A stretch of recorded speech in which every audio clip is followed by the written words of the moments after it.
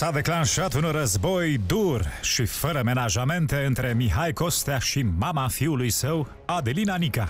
După ani de tăcere și discreție, cei doi se întrec în declarații acuzatoare. Eu am avut niște mașini foarte scumpe, în fine. Și mașina la care făcea uh, re- referire, Referire, da? da, o aveam când eu a, formam, am intrat într-o relație cu el, însă la un an de zile mi-am schimbat o mașină, a fost foarte scumpă.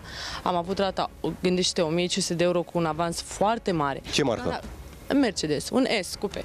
Dar acum hai să luăm logică, Horațiu, tu, prietenul meu, iubitul meu, bărbatul meu, stăm în casă, dar tu toată ziua, de dimineața până seara, ești cu fundul în mașina mea, te plimbi. Păi tot eu să plătesc rata? Te întreb. Dar tu, practic, de ce să te în casă? Că tu ai avut voie să plătești, ai plătit rata la casă. Păi uite, acum stai pe nu știu unde, faci jumătate pe unde stai. A, se poate. La mine în casă, că aveam casă, mamă, așa, nu trebuia să plătești nimic, nu? Păi cu unde-i bărbăți? Ce- De ce mai aveam bărbat? A spus că el, de când am, a intrat în casa aceasta, a plătit zeci de mii de euro. Păi în locul lui mi-ar fi fost rușit. S-a făcut de râs. Doamne, că s-a făcut de râs. Pune la socoteală doar atât casa. Doar casa o pui, nu ce zice el de mașini, de... Pune doar casa și întreținerea care niciodată n-a plătit nimic. Uh, sunt câteva zeci de mii de euro, uh, 3 mii de lei pe lună. Și el zice că mi-a dat mie... ze- Deci pe mine, dacă mă întreb dacă am ceva de la acest om, îl am doar pe atât. Am contribuit în relația asta de la început până, până acum. În casa aceea am contribuit foarte, foarte mult. Și înainte să se nască copilul și după. Și am încercat să nu-i lipsească nimic. Eu am plătit o mașină, eu am plătit casa ei, nu a mea. Am dovezi că am plătit 2 ani de zile mașină, casă. După aia am dat eu puțin de greu și gata, băiatul, ia bagajul și du-te. Ce a cheltuit ea? Ce a cheltuit? Casa ei. Când am zis o perioadă, când am, n-am mai avut posibilitatea să cheltui sumele acelea foarte mari lunar, că să ai o mașină de 100 de mii, să ai rate la ea, nu e 2 lei pe lună. E mașina ei, casa ei, nu? Scrie undeva un contract cu ea că trebuie să-i plătesc toată viața mașină, casă. Îți cere sume mari? Da. Foarte mare. Pentru că un copil de 11 luni are nevoie de pampers, mâncare, lapte. Bonă? Eu pot să-i ofer jumătate din bună, tot ce are nevoie copilul, dar după ce a făcut uh, toate lucrurile astea, s-a războit cu mine, vreau să-i le duc eu personal. Să cumpăr eu și să le duc când vrea. Crezi că banii pe care îi trimis tu ei îi cheltui și pe altceva? Nu pot să zic că nu pot să... Da, mai ajung și pe la job, din când în când, la jobul ei.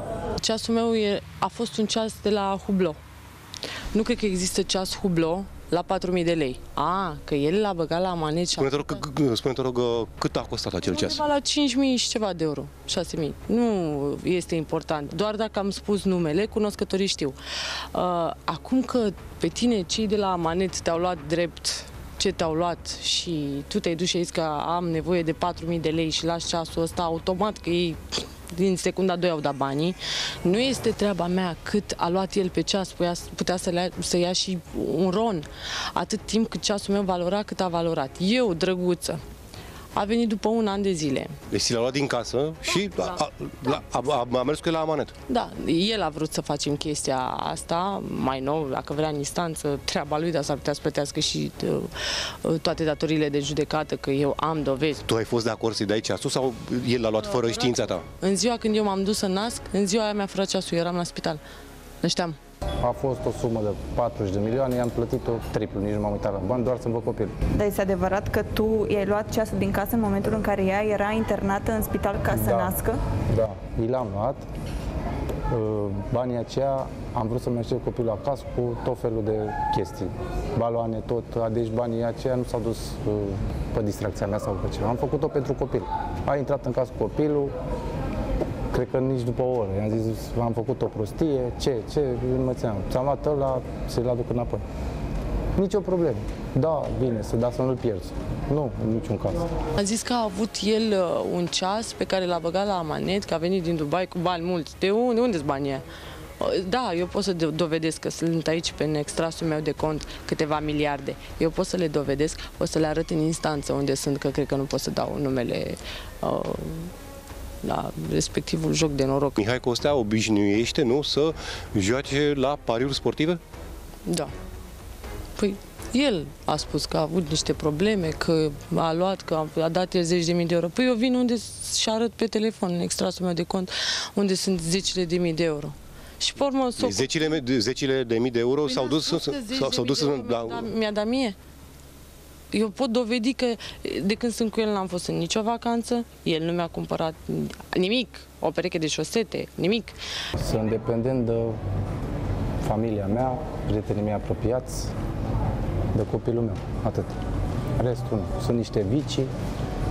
Am avut vicii la viața mea și am avut cam pe toate. Și mașini, și fete, femei, și jocuri. Însă, decât s-a născut vreau să fiu un tată responsabil și să-mi vădă copilul meu, dar sincer nu sunt lăsat.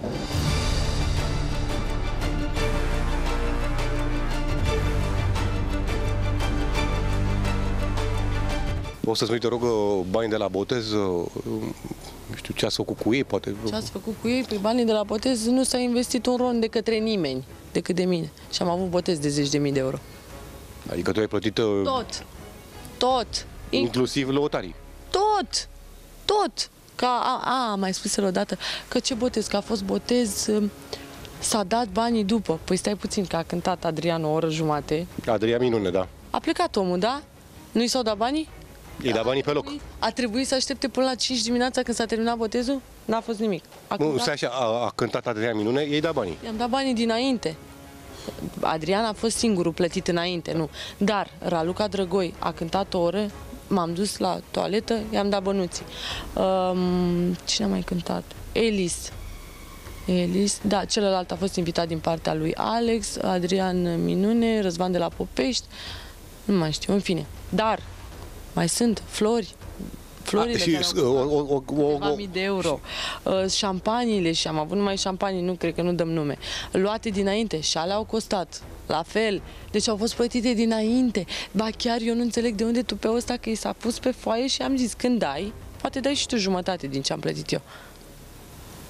Asta e spus tu lui Mihai Costea. Și într-adevăr, nota restaurantului care a fost undeva la 45.000 de lei, botezul, s-a plătit într-adevăr din banii pe care s-au strâns la La botez. Da, este o sumă mare, Deci dar hai, să, hai să recapitulăm. Deci toate uh, cheltuielile, toate costurile botezului le-ai suportat tu. exact, Bun. atât. Nimeni, nimic altceva, nimeni să n-aud vreo cuvânt că am inclusiv facturile luate Și Da. cu uh, ce s-a încasat de la cu ce- oaspeți, de la da, invitați, S-a da? plătit nota. A, nota însemnând... Da, da, uh, da, da, da. Însă celelalte câteva mii de euro bune de dinainte, flori, 2000, uh, șampaniile, 1000. Câteva. Uh, sunt câteva mii bune, stai ce mai, fotograful și uh, ăsta care a filmat, 1000. Uh, nici nu mai știu, Horațiu, că le-am scrise pe foaie. uh, meniu, Păi nu vorbim de meniu. Meniul s-a plătit din, adică meniurile tuturor, după ce s-a terminat botezul, am și plătit. Din, și uh, chiria locației, că a fost una foarte scumpă. da, Chiar, da, uh, da, hai, bodyguards bodyguards cât au costat? tot. E, nu știu, le-am dat, mi se pare că au fost 8 și le-am dat undeva la 2000 și ceva de lei. 2000 de lei, nu, nu mai știu, nu, chiar nu mai știu, nu vreo sumă foarte mare. Măi, dar dacă le adun, sunt bani. U, cu ce, uite, du-te tu odată și zi, zi-mă, Mihai, și mie și arată-mi un bon, un fluturaș, știi? Ce-ai plătit tu la botezul copilului tău? Dacă așa ești tu țanțoș și nu mai poți tu pentru ziua, arată-mi că e botezul. Nu e zi de naștere, nu e nimic. Hai să vedem acum la moț, luna viitoare. Pe cât Ce e? face? Pe 25. Hai să vedem ce face el la copil. Nici invitat nu o să fie. Nimic. Nu o să ne vedem în instanță. Când s-o termina într-un an, 2, 3, 5, când o începe. Și atunci, Spune te rog, cât a costat uh, chiria uh, localului? nu, De botez, bine. Nu, nu a fost cu chirie. Nu a fost uh, nimic. Sau nici nu mai știu. A, ba, da. Mi se pare că am dat, nu, 500 de euro. Nimic, nu. Și doar nota, adică meniurile da. de persoană, undeva la 100 și ceva de euro. În fine, ce s-a strâns, s-a plătit nota, total. Am înțeles. Și da. nu, nu v-au mai rămas bani după Păi bot? dacă a fost 45.000 de lei notat, atât timp cât eu mi-am asumat botezul ăla, am zis să iasă unul ca la carte și o singură dată în viață îi fac botezul copilului meu singură. Deci domnul Mihai Costa a venit cu mâna în buzunar. Nu pot să spun asta, a venit. Da, Și el. Fizic. Da, dar, na, nu știu, mi-e urât, mi-e rușine, mi s-a ajuns așa la... Asta datorită lui, că a ieșit el să zică el, da, domnule, a luat un ceas de 4.000 de lei. Nu e 4.000 de lei, e vreo 6.000 de euro.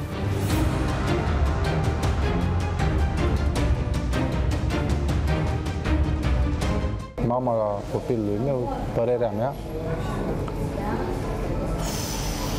e în depresie, vă zic eu sigur, și ar trebui să, să gândească ceea ce face acum. Că am auzit dis- discuții că nu știu cât a cheltuit el la botez, că n-a plătit nu știu ce, că aberații care, sincer, nu fac bine copilului, mie, familiei mele, familiei ei, nașului, toată lumea. Ne facem de râs pentru ce?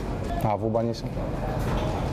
Tu ar trebui să știi. Știu, dar nu vreau să vorbesc pentru că nu sunt genul să acuz pe cineva. V-am zis, relația mea cu ea am contribuit financiar, cred că mai mult decât trebuie.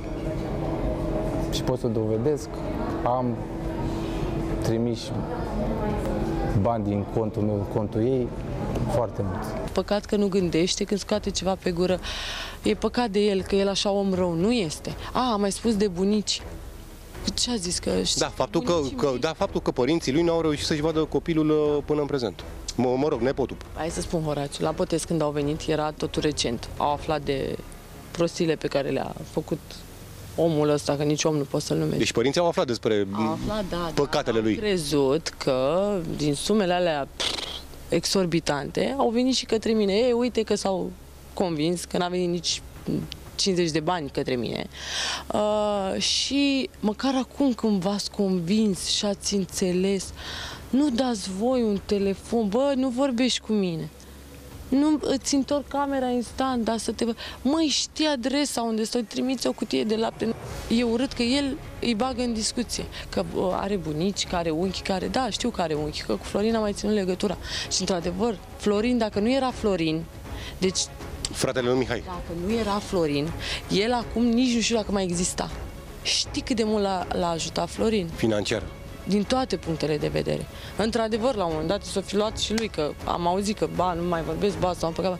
Măi, dar dacă nu era Florin și tot nu-l respectă ce a făcut până acum și așa mai departe, a fost cum a fost. Dar cu asta își uh, semnează sentința. Să Da, nu și eu- ajungă prin altă parte, că măcar pe aici mai se duce, pe unde se duce, dar să nu ajungă printr-un loc de unde să nu mai iasă.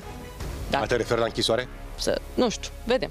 Tu ești într-o relație bună cu părinții tăi acum, cu fratele tău?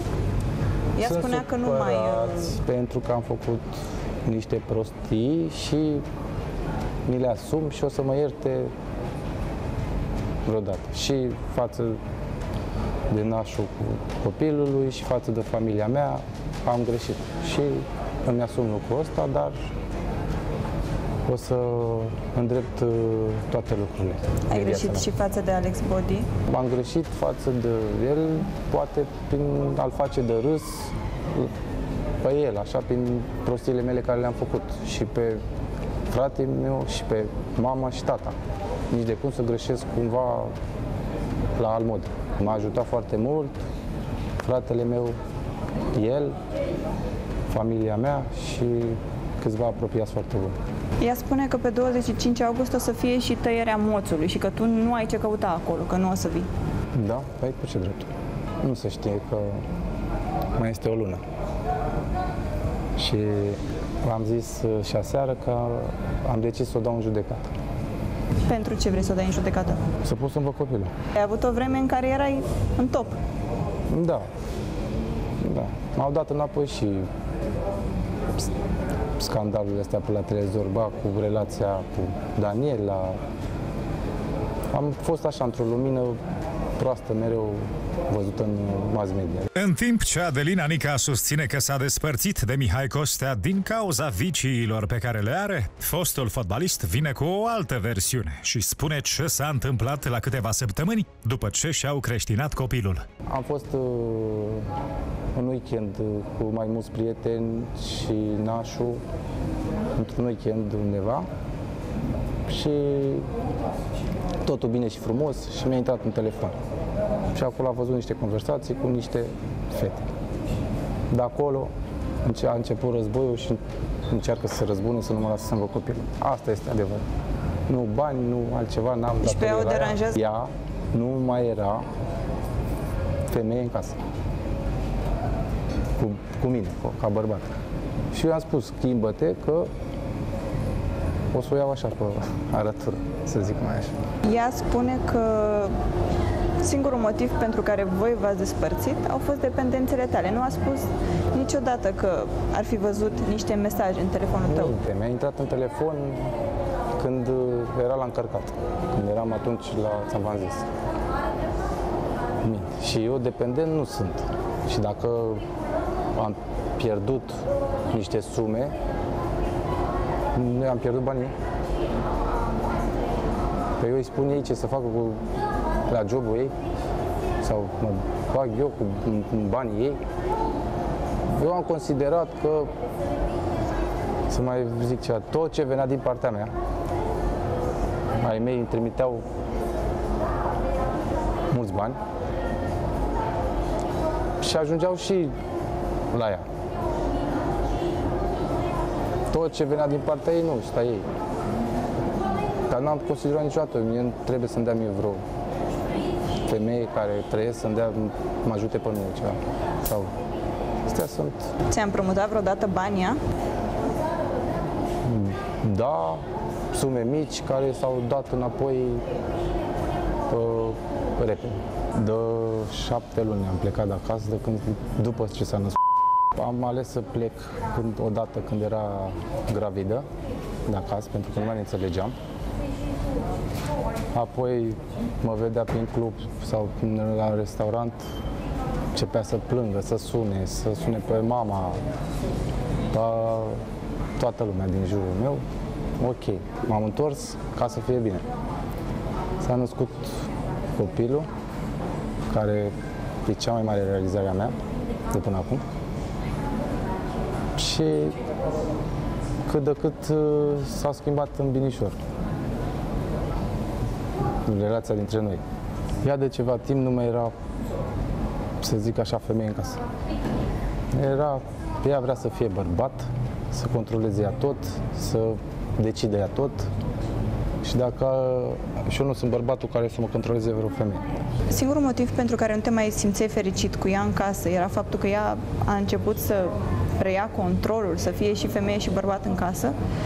Sau nu mai existau sentimente? Asta este ea.